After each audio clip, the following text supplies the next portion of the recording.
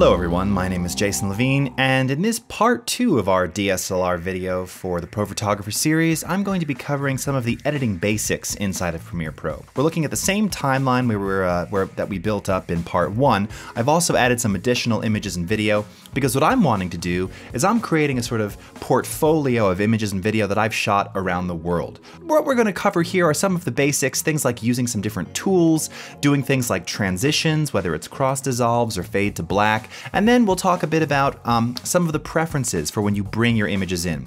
So I think we should start there because that's typically the first question that people will ask. How long should the images last and how do I set those as defaults?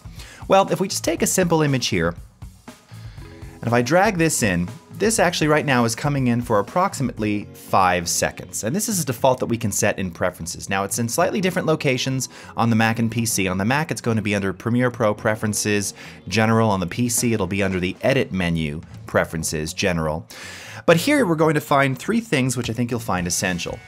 The main one is still image default duration, 150 frames. Now remember friends, because we're in video land, we're dealing in frames. Effectively, at 30 frames per second, 30 times 5, 5 seconds, 150 frames.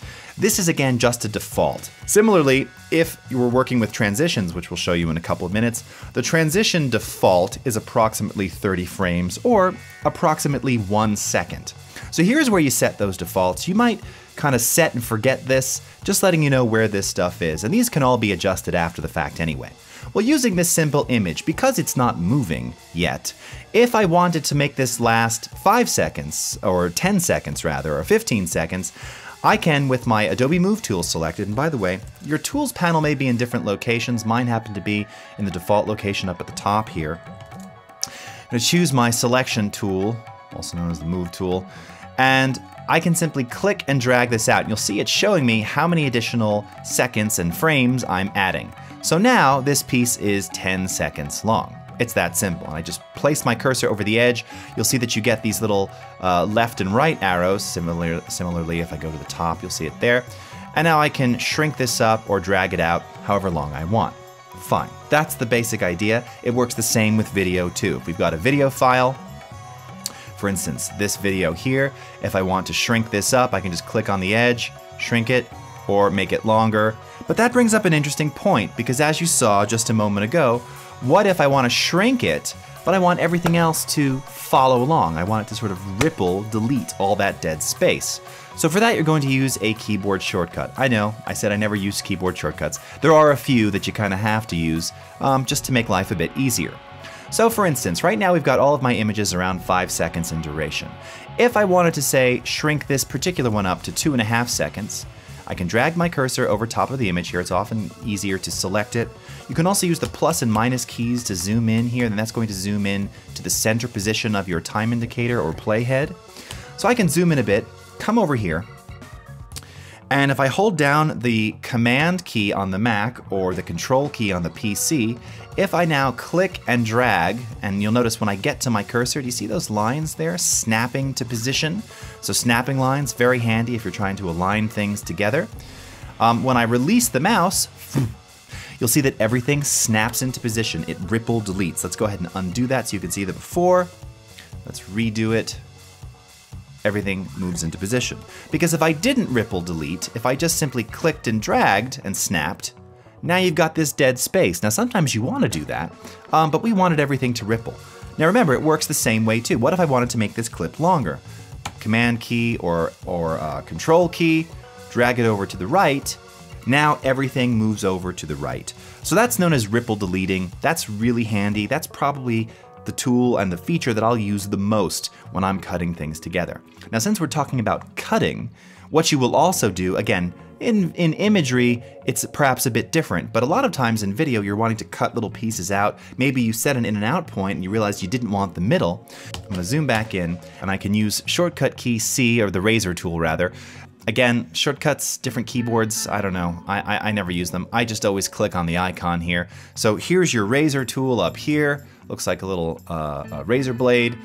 I can set a little cut point simply by clicking right there, put the playhead right here, cut. Now, how do I get rid of that? Well, I can right click and just cut but of course that's going to leave a hole. That's not typically what you want to do. Often what you want to do is, again, ripple delete.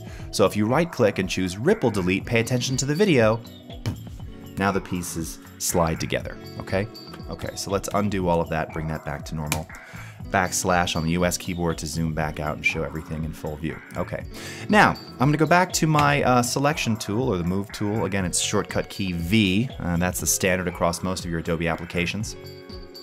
Now, if I wanted to multiple select clips and move them around, from within here I can actually click and drag, you notice I get this little sort of marquee selection box. And I can select across these clips. Now be careful not to grab that little yellow handle there. Right there, currently that's working on opacity. We don't want to touch that, so just move the cursor down until it turns back into the black arrow.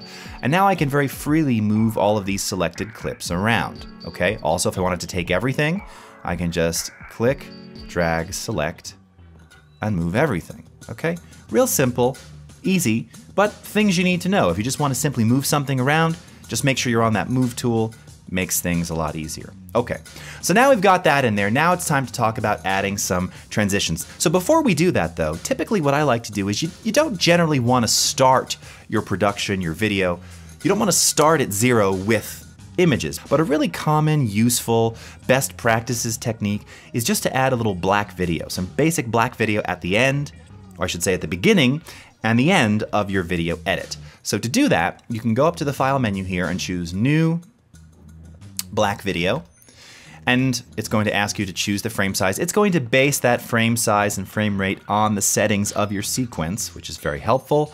Click OK, all done, there we go. Now again, where do we want to place this? We want to place it at the beginning. So we could select all of our media here and move it and then place the black video in there and then trim it and do all of that it, there's even an easier way. If we double click on that black video, bringing it into the source monitor, make sure that your playhead, your current time indicator, is at the beginning of your timeline, and then come down to the bottom of the source monitor here where you will see we have something called the Insert button. And if you click on Insert, that's going to insert that black video before everything else begins. So now that we can transition from black, fade up into our image. So I can use my arrows and navigation to go to the end, and for the end, I can simply just click from within the window here and drag and drop it right there. Now, as mentioned, you've got lots of different options when you're talking about transitions. You can do the standard cross dissolve, you can fade from black, you can fade to white. There's lots of you can wipe and pull and peel. Some of those are more tasteful or less tasteful than others. Let's start with the real basic ones, just adding some cross dissolves. So I'm gonna wind back here and let's go over down to the bottom left-hand corner where we have the effects, uh, the effects panel here. Twirl this up and you'll see that we have a section called video transitions. There's also audio transitions in there. And if we twirl down video transitions, you'll see that we've got lots of them. Again, 3D motion, page peels, slides. Those, I say, use at your own risk. um, and if we go to dissolve, you'll see that we have all the standards. Now again, the most common is the cross dissolve.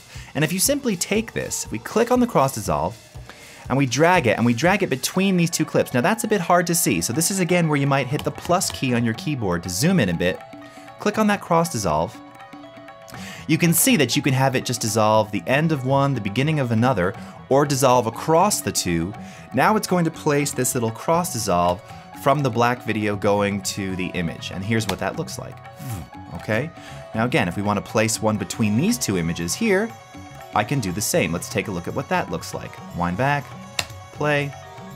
Okay, very nice. Now again, we've got our cross dissolves.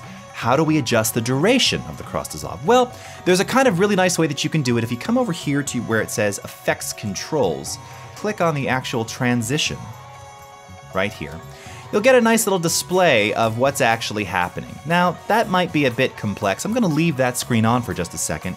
Here's a really easy way to do it. You've got your time in the ruler here. You want to adjust the duration of your cross dissolve? Well, notice those little handles that we saw before when we were trimming clips? Well, they apply to the dissolves as well. So if I want the dissolve to be longer, I can just drag it out, like so.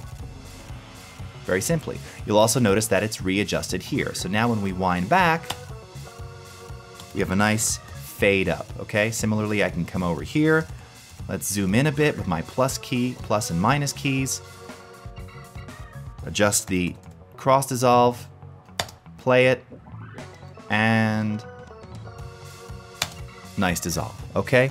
Now, another really common one, just to point out here, is uh, the, the fade to black. And I'm going to show you the difference here. The, the thing with fade to black, and by the way, if you want to remove a transition, you can right click, control click, and just choose clear, or you can actually select it and hit the delete key. Either one will work. Now the nice thing with the dip to black, this kind of just gives it a bit more of a stylized look. You see this a lot with a lot of professional portfolios, literally having each image fade to black and then fade up again it, it just looks a bit more polished. So if you look at the difference here, let's, let's show you here. Here's the fade to black. Well, you're not gonna see a difference at the top here. Let's look at this one. Right, now that was really short. So let's zoom in again. Let's make this a bit longer. You can see it already so just it just feels a bit more dramatic. Wind back, fades to black, fades up from black. Now you might be looking at that going, I don't really see much of a difference. Um, when you have lots of these on there, it just I think I think it looks a bit more stylized, a bit more groovy. So I tend to use dip to black a lot. Nothing wrong with cross dissolves, and of course, you can mix and match. So you can have a cross dissolve in one place, you can have dip to black in another, you can have dip to white in another, you can have additive dissolve in another. It just depends, whatever you like. So once you've got your transitions here, by the way, you can add these same transitions between images and video. You'll see right there. So if we wanted to wind this back, if we wanted to elongate that dissolve right there, wind back a bit, let's play.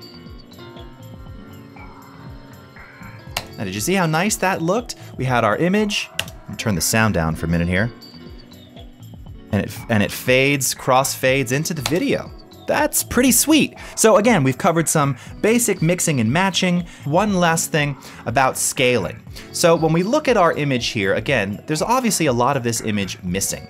So if I select this image, if I select this piece or this clip now inside of my sequence, and I go up to effects controls, you'll see that we have motion opacity and time remapping.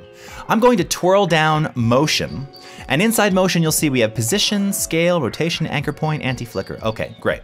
Scale is exactly what you think. So with the clip selected, if I choose scale, now you notice we have this hot text, and if I hover my mouse over it, we get these little left and right arrows. I can click on this and drag, and I can rescale this image accordingly, right? so we can adjust it to fit the size however we want. Now, in the next episode, I'm actually going to talk about animating this. This is just giving you the basic location of where to adjust these things. Also, in terms of position, if I want to adjust the vertical position, I can do that here. If I want to adjust horizontal position, I can do that there. You've also got your opacity. So that's just the location of motion. In the next part, we're actually going to show you keyframing, talk about keyframing and adding those Ken Burns type effects um, to your images, to your video, to create some more motion, to create some more life. So stay tuned for the next one. Hope you've enjoyed this one. We'll see you in part three. Take care.